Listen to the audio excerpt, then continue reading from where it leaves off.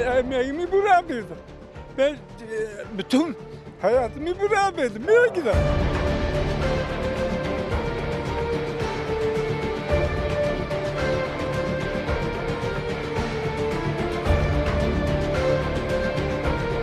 İsrail'in Filistin'e yaptığı zulmü de bize yapmasınlar.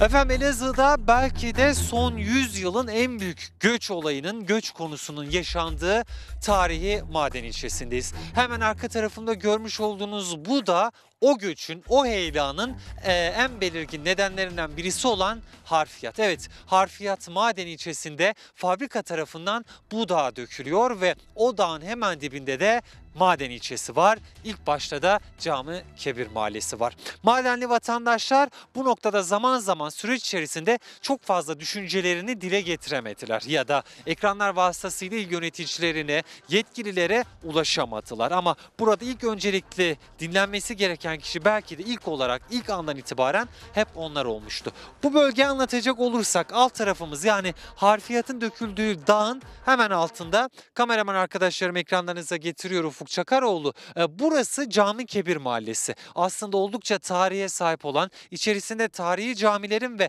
eserlerin olduğu bir mahalle burası. Madenin de en merkezi mahallesi ve noktası. Cami Kebir Mahallesi'nde 5 iş günü içerisinde, 5 gün içerisinde bu mahallenin boşaltılması, tahliye edilmesi istenmişti. Süreç geçti. Vatandaşlar madenden, Cami Kebir Mahallesi'nden çıkmadılar. Şimdi burada yaşayan vatandaşlar biz madenden kendi evlerimizden çıkmayız diyorlar. Çıkacaksak da devlet madene yakın bir noktada bize hem ev hem de iş yeri yapacak ve bunun karşılığını da biz veremeyiz zaten diyorlar. Hepimizin e, gelir durumu belli, yaşı belli diyorlar. Belki de ilk andan itibaren en çok konuşması gereken insanlar işte hemen alt tarafımızda Cami Kebir Mahallesi'nde yaşayan vatandaşlardı. Belki sözlerini, isteklerini, taleplerini yeteri kadar bu süreç içerisinde dile getiremediler. Şimdi dilerseniz mağduriyetin yaşandığı Cami Kebir Mahallesi'ne inelim ve orada vatandaşlar neler istiyor,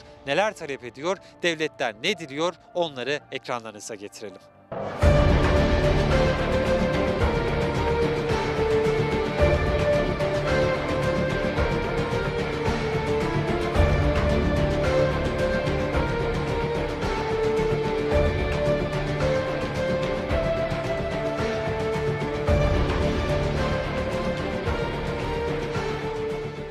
Yusuf Bilgili, derneğimizin şeyim, e, sekreteriyim, yetkilim evet. Kaç yıldır madende yaşıyorsunuz? 71 yıldır burada yaşıyorum. 71 yaşdır doğma büyüme madenliyim. Cami Kebir Mahallesi. Cami Kebir Mahallesi, Arpa Meydanlıyım. Arpa Meydanımız istimlak oldu. Aşağı indik, evimiz de şurası. Anladın şu anda Şimdi bizi... bu boşaltılması, tahliye edilmesi gereken yerde sizin eviniz var E mı? var, var evet. Evimiz Yani burada. Direkt konunun muhatabı sizsiniz. Evet, benim. Doğrudan doğruya konut sahibiyim. Evet. Ve şu anda evim de burada hemen önümüzde. Bu konutta burada maalesef bir yıldır uykumuz yok. Tedirgin içindeyiz. Tedirgin içindeyiz. Ne yapacakları belli Yalan değil. olabilir mi? Hayran olabilir. Vali bir türlü söylüyor.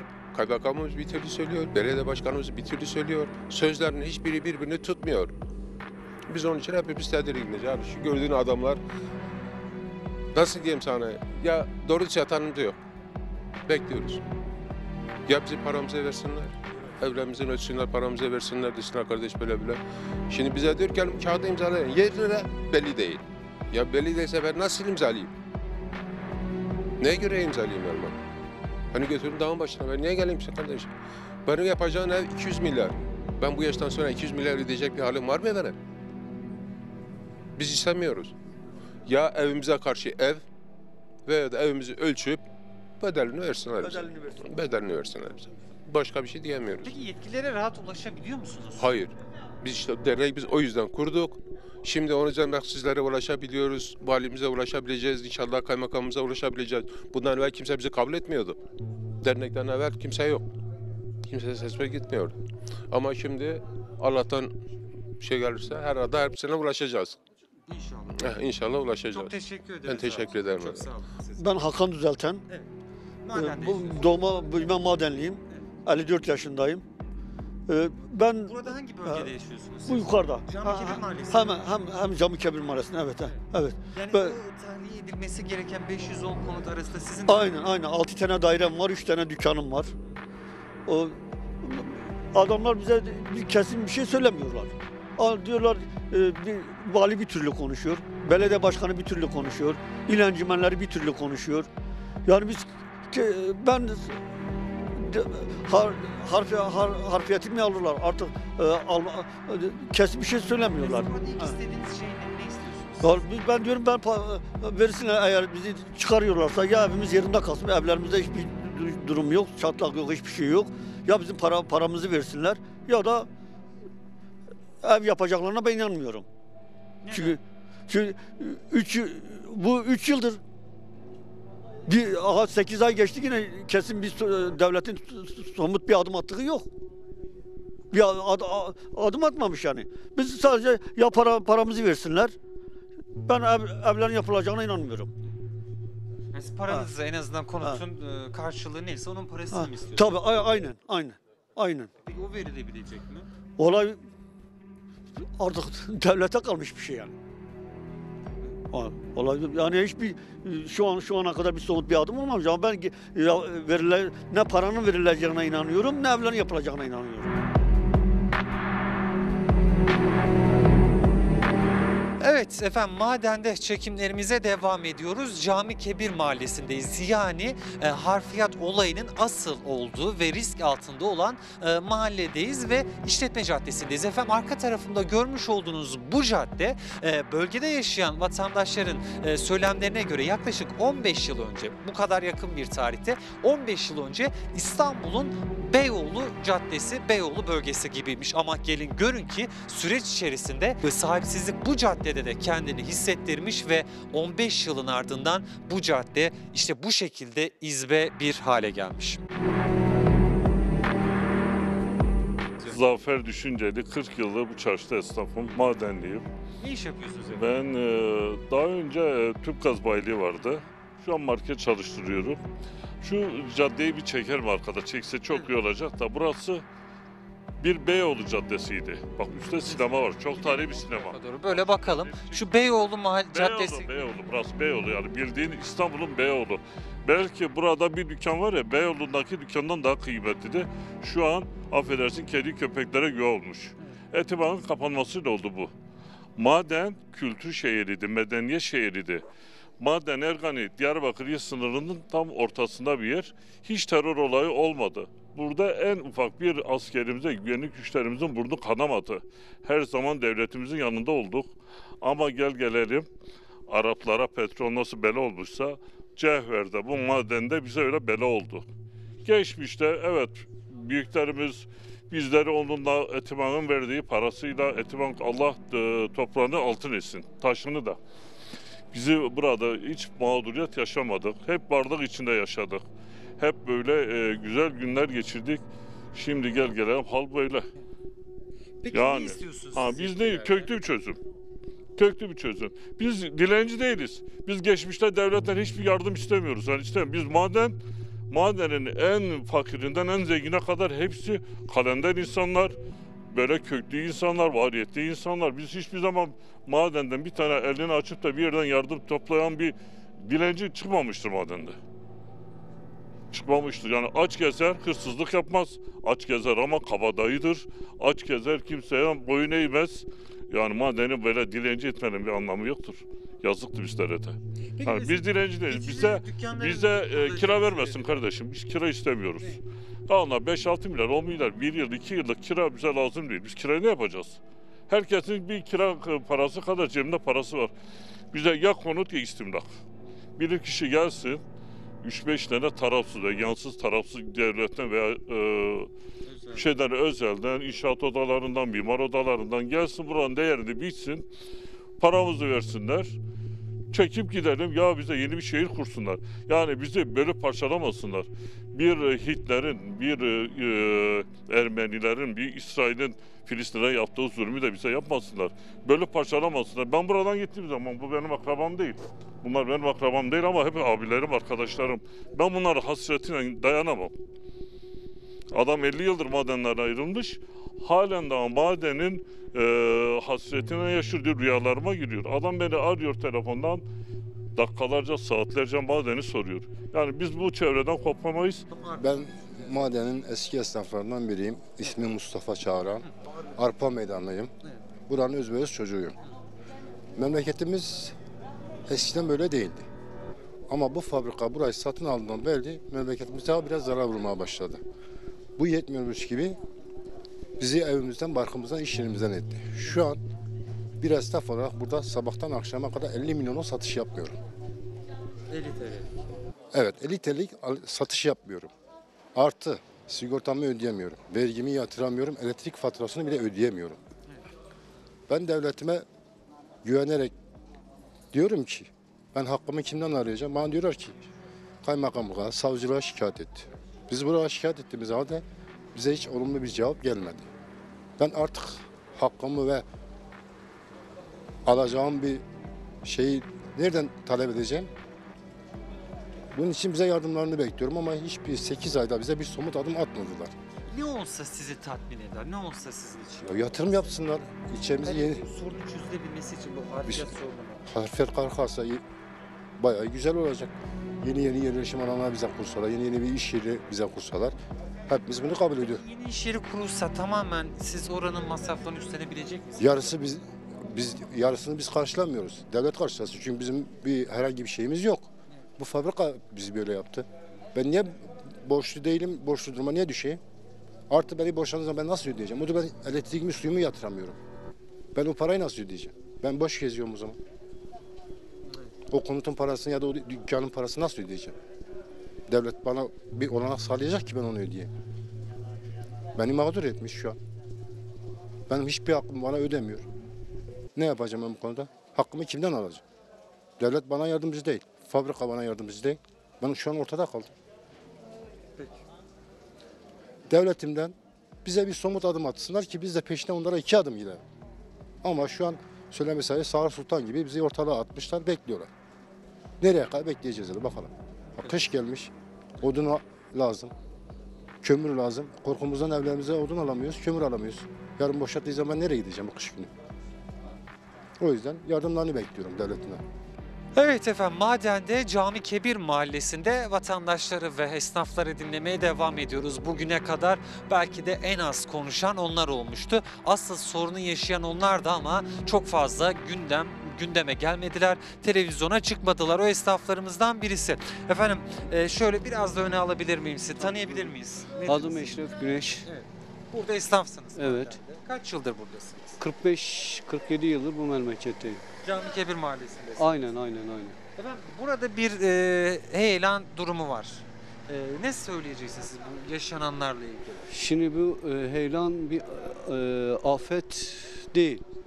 Bu fabrikadan gelen bir af- şey. E, afet durumu. E, sahipsiz olduğu için yapacak hiçbir şeyimiz yok yani. Şimdi biz her zaman söylüyoruz kendilerine. Daha önceki televizyonculara da söylüyorduk. Yani gelen kanallara da herkese de. Buranın, bu fabrikanın harfiyeti kaldırmadığı süre içerisinde bu memlekete her zaman bir zarardır yani. Yani bu kadar insanı mağdur durumda bırakmalarının hiçbir anlamı yok bence. Yani şimdi insanlara diyorlar ki burayı boşaltacaksınız. Tamam insanlar boşaltsınlar da ama nereye boşaltacaklar? İnsanları çıkarmak istiyorsanız evlerinden, iş yerlerinden çıkarmak istiyorsanız o insanların zararını karşılayacaksınız. Zararını karşıla- e, karşılayacaksınız. Ya yeni bir yerleşim alanı yapacaksınız. İnsanları mağdur durumda etmeyecek bir şekilde o insanları oraya taşıyacaksınız. Ya da getireceksiniz. İnsan mesela örneğin benim evim şu anda e, o bölge civarında. Benim evimin giderini karşılayacaksınız. Ben de o zaman başımın çaresine bakacağım. Ben e, Şenol evet. Madende ikamet ediyorum. Doğma büyüme buralıyım. 35 yıllık esnafım. Evet. Söylenecek aslında çok şey yok. çok çok şehirler var da kısa özetlersek herkes her şeyi biliyor. Yani burada bir mağduriyet söz konusu var. İnsanların talebi var. Talebi 2-3 yıldır halen gerçekleşmiyor. Yani biz bir şey istemiyoruz. Biz istediğimiz tek bir şey var. Ya buradaki insanlar zaten zor geçen insanlar, son tabakada kalan insanlar. Ya güzel bir yerde yeniden insanların hakları verilerek oraya taşınsın. Veyahut da kardeş buradakiler mağduriyet giderilsin. Herkes kendi başının çaresine baksın. Yani her ikisi de olmadığı zaman bu insanların hali ne olacak? Ben Peki onu siz düşünüyorum. ne istiyorsunuz mesela? Ne olsa sizin için? Yani ben şahsım olarak kendi açımdan bir şey istediğim yok. Ben genel olarak burada yaşadığımız için Buyurun, genel sizin olarak düşünceniz mesela. düşüncemiz şudur. Yani sonuçta eee, her şey ortada yani. İstediğimiz şey belli. Bu mağduriyetimizin giderilmesini istiyoruz. Devletimizden bunu istiyoruz. Gerçekten yani buradaki kalan insanlar gerçekten durumu düşük olan insanlardır. Yani bu sıkıntının giderilmesi ancak yine devletimizden olur. Bir de madenimiz gerçekten eee, köklü bir yerdir. Yani buranın insanları milliyetçi insanlardır. Yani üzülüyorum yani. Ne diyeyim? Yani bir el atılması lazım, soruşturulması lazım. 3 yıl oldu. Bak kış geldi dayandı. Yeniden tekrar bahar gelecek. Yani herhangi bir noktada acilen yine boşaltılın dediğiniz zaman bu insanlar nereye gidecek? Bu kışın nerede bo- boşaltılacak?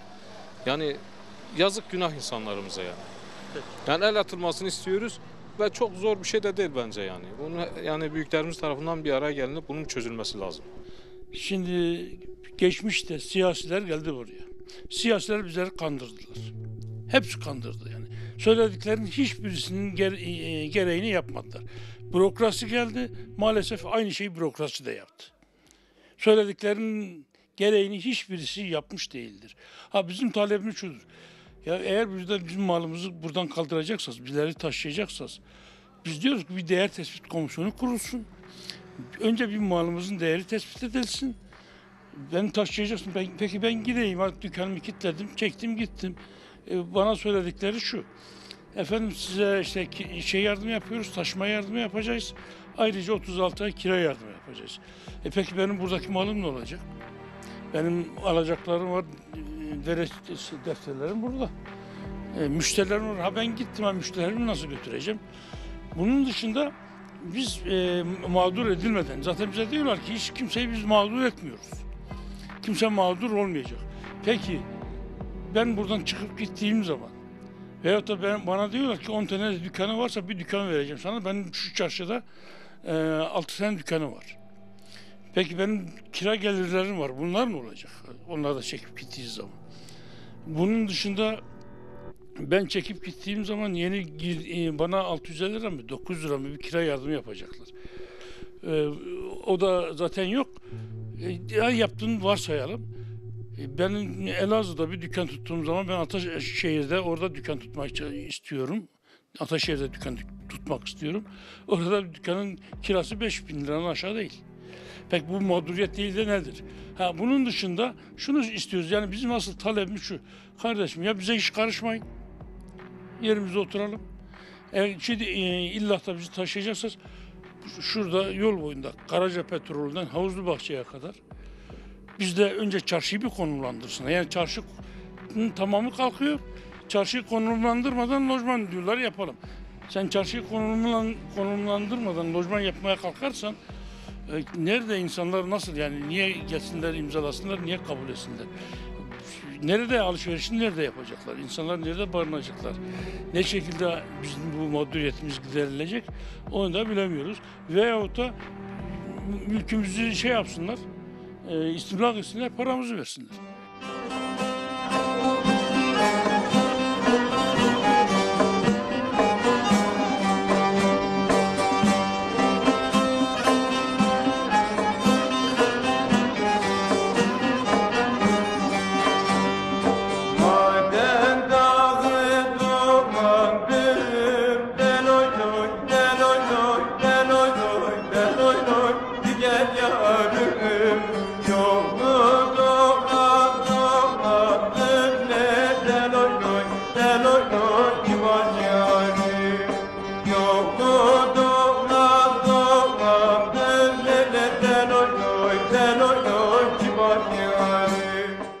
Maden'in Cami Kebir mahallesinde vatandaşlarla ve esnaflarla görüşmeye devam ediyoruz. Şu an bulunduğumuz nokta madenin eski meydanıymış efendim. Burada köylerden, diğer bölgelerden gelen vatandaşlar e, buradaki dükkanlara gelirlermiş ama görmüş olduğunuz gibi o dükkanlardan eser kalmamış. 3-5 tane dükkan burada ya var ya yok. Onlar da bir şekilde e, iş yapmaya çalışıyorlar ve o esnaflarımızın birinin yanındayız şu anda. Efendim tanıyabilir miyiz sizleri? Abi e, Kenan Can Polat.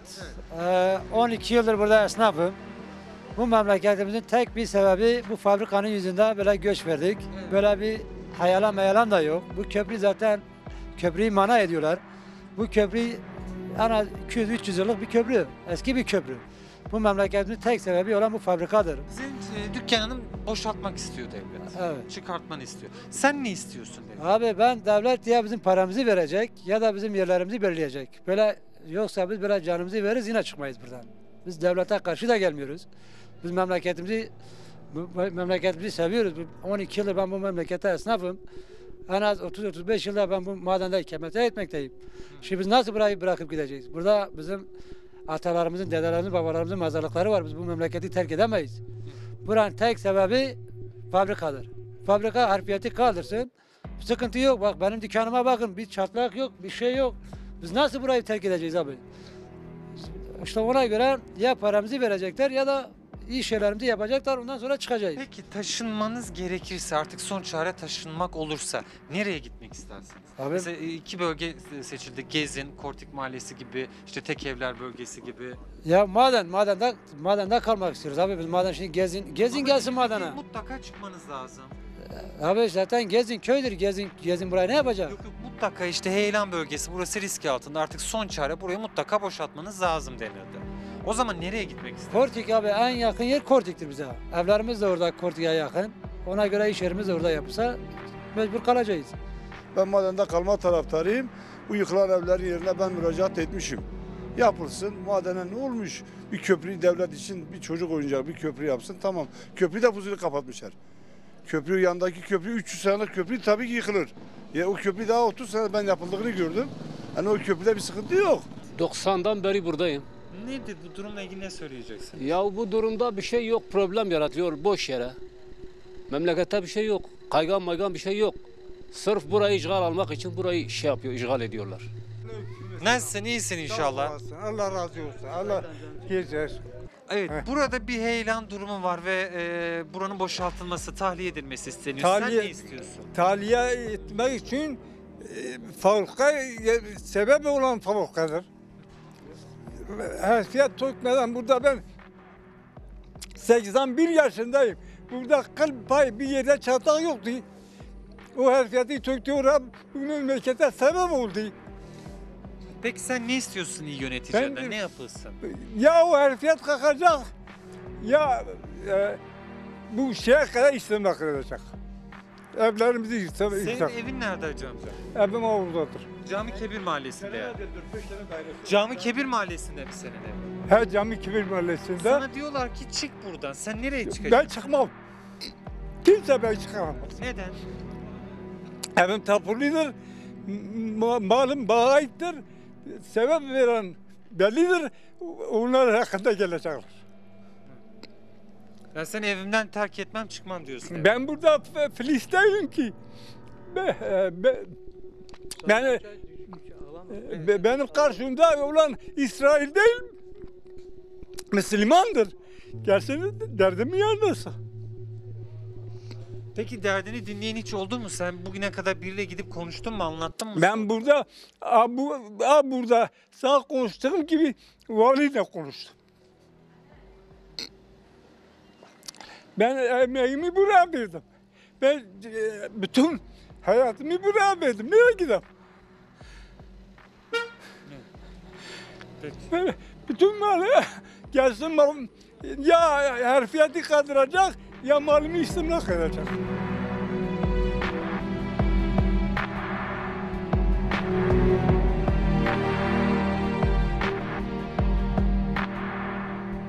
Evet efendim tanıyabilir sizi? Efendim ismim Rasim Can Polat. 30 yılı aşkındır Maden ilçesi Cami Kebir Mahallesi'nde esnaflık yapıyorum. Son zamanlarda gördünüz zaten Yıldızlar Holding tarafından ilçemizin, e, iş yerimizin üst tarafında bulunan yere harfiyat dökülmesinden dolayı doğal olmayan bir afet meydana geldi. Bu konuda e, devlet yetkilileri tarafından bize sürekli baskı yapılarak iş yerlerinizi terk edin. Bize de devamlı evrak gönderiyorlar. Biz zaten esnaf e, arkadaşların çoğu mağdur. Bu mağduriyetimizin giderilmesini talep et- ettiğimiz mü- müddetçe herhangi bir muhatap bulamadık. Şu anda dökülen toprak yalnız bizi etkilemiyor. Toprak geldiği zaman e, doğu ve güneydoğuyu birbirine bağlayan ana yol da zaten şu an tehlikede. Şu an o yolu kullanan tüm araç sahiplerinin hayatları tehlikede. Olay madem bu kadar de büyük ve tehlikeliyse neden ana yol kapatılmıyor? Kendilerine söylediğimiz zaman o işlere karışmayın diyorlar. Yalnız tamam bizim taraf tehlike arz ediyorsa ana yol ne- neden tehlike arz etmiyor? Orası da bugün bir harfiyat geldiği zaman Dicle Nehri'nin önü kapandığı zaman ilçenin çoğu su altında kalacak. Bu konuda yetkililere söylediğimizin zaman bize siz karışmayın o işleri kapatın diyorlar. Şimdi efendim bize tebligat yapıldı. İş yerinizi ve evlerinizi terk edin. İş yeri zaten biliyorsunuz 5 günde tahliye edilmez. Zaten e, çünkü e, iş yeri sahiplerinin maddi olarak, ekonomik olarak bunların durumları sıkıntılı. Ev sahipleri çoğu emekli insan aldıkları maaş 1000-1500 lira emekli maaşı. Bu insanlara herhangi bir e, karşılık bulunmadan derhal iş yerinizi terk edin söylediler. Ama bu iş yerler, e, bu vatandaşlar nereye gitsin?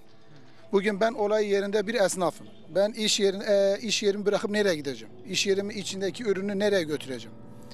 Bize karşılığında çıkın dediğin zaman herhangi bir yazılı bir talep önümüze gelmiyor. Yalnız şifayen söyleniyor. Yazılı talepte bulunun dediğimiz zaman da siz bize inanmıyor musunuz? Ondan sonra olay kapatılıyor.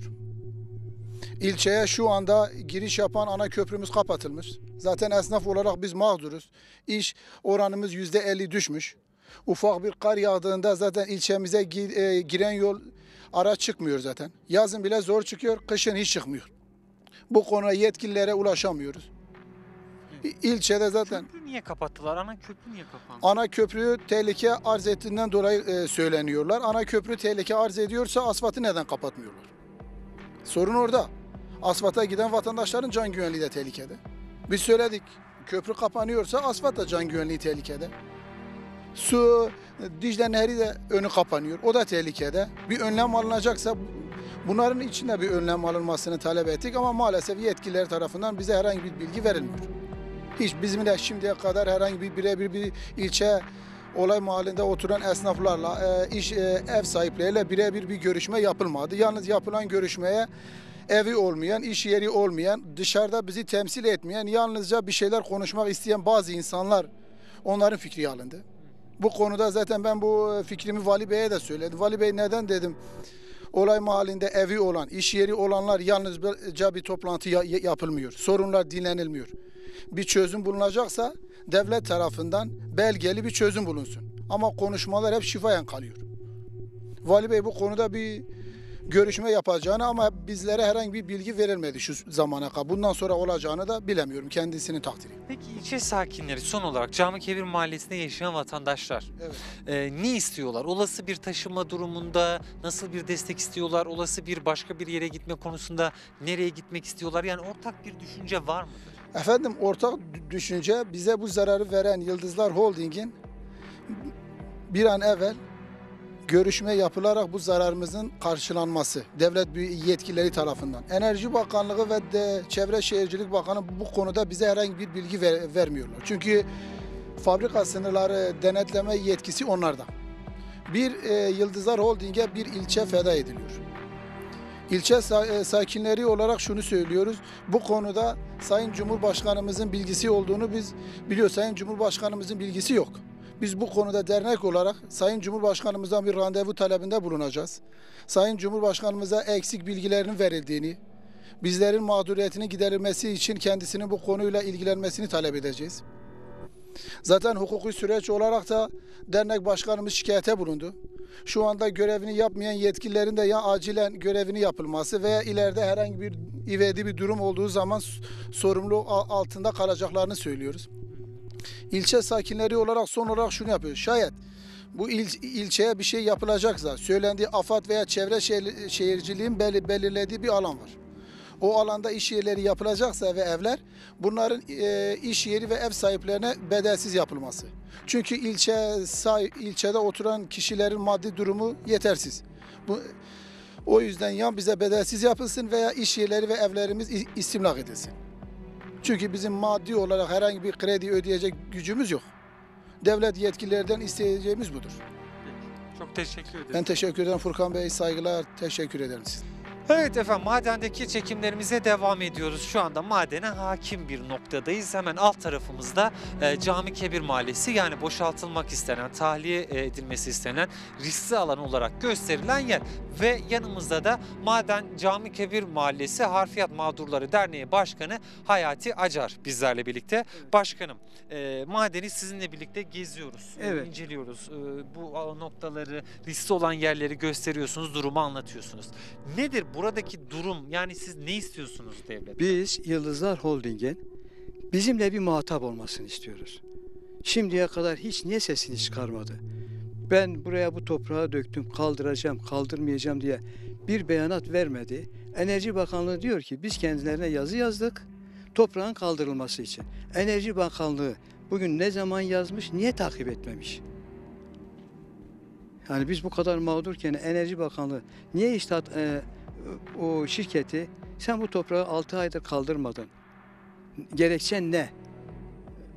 Bunu söylemek istiyoruz ve yerlerimizin istimlak edilmesini, paramızın verilmesini istiyoruz. Biz Gezi'ni biz Gezi'ni ke- kesinlikle istemiyoruz. Çünkü Gezi'nde yapacağı evler yazlık evi olacak. Kışın Gezi'nde durulur mu? Durulmaz. Soğuktan durulmaz. Mecbur biz de paramızın verilmesini veyahut da memleketimize maden e, e, sınırları dahilinde bize yol boyunda bir ev e, ev yapılmasını istiyoruz. Bedelsiz yapılmasını istiyoruz. Eğer bedelli yapılacaksa o evin bedeli Yıldızlar Holding'den tahsil edilmesini istiyoruz. Evet. Yani siz e, şunu söylüyorsunuz anladığım kadarıyla. Biz madenden çıkmak istemiyoruz. Çıkmak istemiyoruz. Madenden çıkmak istemiyoruz. Bir şey yapılacaksa madende yapılmasını istiyoruz. Bu kadar. Ama burada yani madende yapılırsa bir şey yapılırsa madende yapılsın diyorsunuz ama madende evi yani insanların burada 510 tane konut ve iş yerini nereye yapabilir devlet? Bahçeli evlerde. Yani hani sizin Kortik dediğiniz yerde. Kortik bölgesi. O Karşı Kortik- tarafın dağın arkası. Evet orası eskiden Kortik'ti. Bak bu bizim evlerimiz vardı. Bu Arpa Meydanı'nda evlerimiz vardı. Etibank istimlak etti. Paramızı verdi. Gittik Bahçeli evlerde ev yaptık ve bizim şimdiki ol- olduğumuz yerde de ev yaptık. Gene eğer istimlak etsin, paramızı versin, biz kendimiz istediğimiz yerde evlerimizi yapalım. Yani siz diyorsunuz ki bize ilk önceliğimiz ev yapmayın. Parayı verin. Biz kendimiz yapalım. O olmuyorsa alın siz yapın. Siz yapın diyoruz. Size para vermeyin. Biz para vermeyelim. Bana yaptığın evin bedelini Yıldızlar Holding'den tahsil edin. Burada e, insanlar e, devlet dese ki yüzde ellisini ben vereyim, yüzde ellisini vatandaş versin. Bunu karşılayabilecek durumda olan insanlar var mı? Yoktur. Gerçekten hepsi emeklidir, hepsi mağdurdur. Gerçekten yoktur. Yani gerçek söyle- söylüyorum. O e, şeyi yükü karşılayacak kimsemiz yoktur. Ve son sözümü mü söyleyeyim? Yok daha soracağım ben. Mesela bir köprü var. Köprü e, kapatılmış ilçeye girişi sağlayan ana yol esasında. o köprü- O niye kapatıldı? O köprü tarihi köprü yıkıldı. Tarihi köprü 86'dan beri kullanılmıyordu. Yeni köprümüz yapıldı. O köprü zaten yıkılacaktı. Hatta iki gün önce oradan geçerken ben şöyle içimden bu köprü ne zaman yıkılacak diye geçirdim. Çünkü o kadar kötü durumdaydı. Biz hatta Lütfü Ergen'e, e, Gökhan İlhan o köprünün e, onarılması için defalarca müracaat etmişler. Onarılmadı. Haline, kendi haline bırakıldı ve yıkıldı. E, şimdi bu köprüde Siz de savcılığa suç duyurusunda bulundunuz. sa- evet savcılığa suç duyurusunda niye bulundum? Çünkü köprü onarılmadı. Yetkililer onu onarsaydılar o köprü yıkılmazdı. Tarihi bir köprümüzdü. Ben biz e, şeyin de e, hükümet konağının da Lütfü Ergen'e yine e, Gökhan İlhan'ın şeyleriyle vasıtasıyla onarılması için bir yardım kampanyası başlatmak istedik. Fakat ona da kaymakamlık 10. madde engeldir dedi. O dilekçemizi geri çektik. O Yani katkıda bulunmak ister. Yani bana proje var, proje yapmışsınız dediler. E, projeyi dedim valilik yapmış. Vali Bey demişti ki e, onaracağım.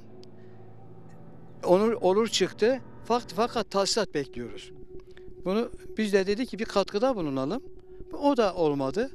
Yasaktır dediler, kanuna aykırıdır dediler. Dilekçemizi geri çektik. Peki şimdi e, burada başkanım e, vatandaşlar ne istiyor devletten? Vatandaş devletten ilçelerinin yerinde kalmasını istiyor. Son söz bu.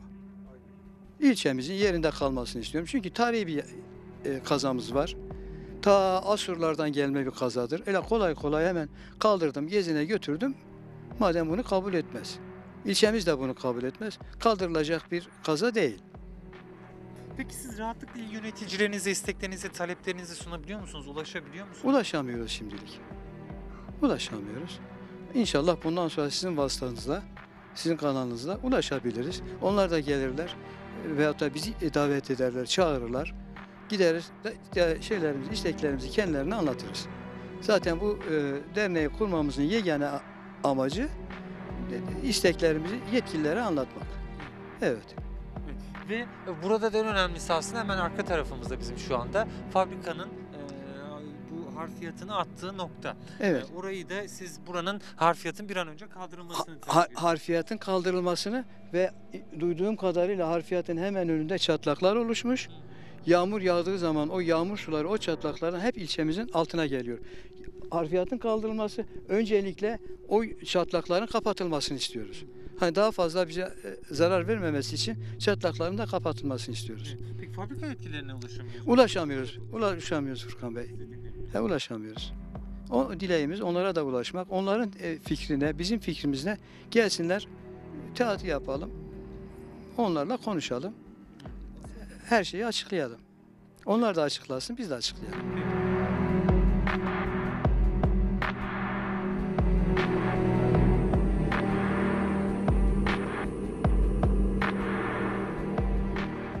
Şu anda Maden ilçesini şehir merkeziyle birbirine bağlayan köprünün hemen üzerindeyiz ve üstümüzdeki tabelada Bakır Maden'e hoş geldiniz yazıyor ama artık kimse Bakır Maden'e hoş gelemiyor çünkü bu köprü de trafiğe kapatıldı. Geçtiğimiz günlerde gündeme de gelen ve e, bu bölgedeki en eski yapılardan birisi olan Selçuklu döneminden kalan bir köprü vardı burada. Hemen bu ana köprünün yanı başındaydı o köprü ve e, o köprüde e, yıkılmış durumda. Bu üzerinde bulunduğumuz ana köprü yıkılan tarihi köprünün hemen yanı başında ama burası da köprünün üzerinde bazı çatlaklar olması nedeniyle ana köprüde trafiğe kapatılmış ve ilçeye girişler farklı bir şekilde sağlanıyor. Şu an ekranlarınıza gelen yer Dicle Nehri. Bu Dicle Nehri önemli. Bununla ilgili biraz bahsedecek olursak buradaki heyelan sadece evlerin yıkılmasına neden olmayacak farklı şekilde e, faciaların da e, olabileceğini bizlere gösteriyor. Çünkü olası bir heyelan durumunda maden ilçesinde sadece Cami Kebir Mahallesi yani vatandaşlar ve burada yaşayan e, bölgede satış yapan esnaflar etkilenmeyecek. Şu an ekranlarınıza gelen yer Elazığ ile Diyarbakır'ı yani Doğu ile Güneydoğu'yu birbirine bağlayan ana yol, şehirler arası yol. Olası bir durumda dağdan gelen topraklar heyelan önce Dicle Nehri'ni kapatacak. Oradan da ana yolu etkileyecek. Yani ana yolda heyelanın etkisi altında kalacak. Aslında bu durum e, süreç içerisinde çok fazla gündeme gelmemişti. Dicle Nehri'nin kapanması olası bir su baskınlarını, bölgenin tamamen su altında kalması nedenini oluşturacak. Ana yolun kapanması zaten Doğu ve Güneydoğu Anadolu bölgesinin ulaşımını etkilemesine neden olacak. İşte tüm bunların kaynağı hemen benim sağ tarafımda yer alan fabrikanın burada yapılması ve esasında fabrikanın posalarını yani harfiyatını bu bölgeye döküyor olması. İşte tüm neden bu ve harfiyat olası bir heyelan durumunda hem Cami Kebir mahallesinde yaşayan vatandaşlar o heyelandan etkilenecek hem de Elazığ ile Diyarbakır yolunu kullanan vatandaşlar heyelandan olumsuz yönde etkilenmiş olacaklar.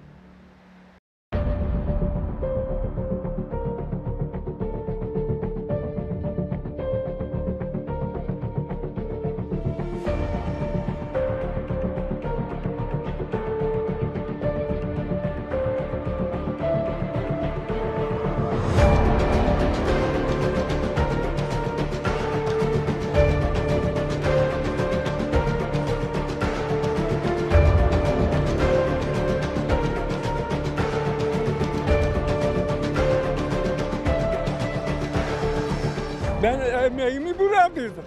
Ben e, bütün hayatımı buraya verdim. Nereye giderim?